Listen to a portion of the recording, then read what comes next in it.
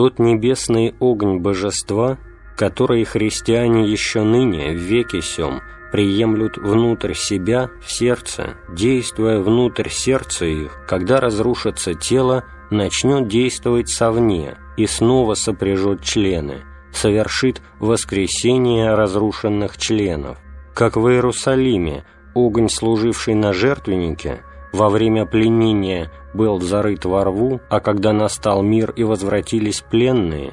тот же самый огонь как бы обновился и стал служить по-прежнему, так и ныне этого ближнего нашего, тела, которое по разрушении обращается в тину, воспроизведет и обновит небесный огонь. Он воскресит истлевшие тела, и внутренний, в сердце обитающий ныне огонь тогда будет действовать совне и совершит воскресение тел.